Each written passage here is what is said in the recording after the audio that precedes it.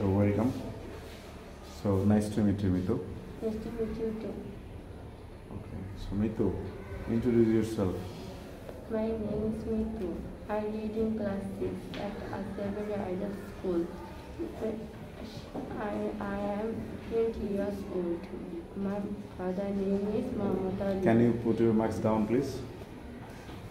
Okay. Please My carry on. father name is Mohammed Ali.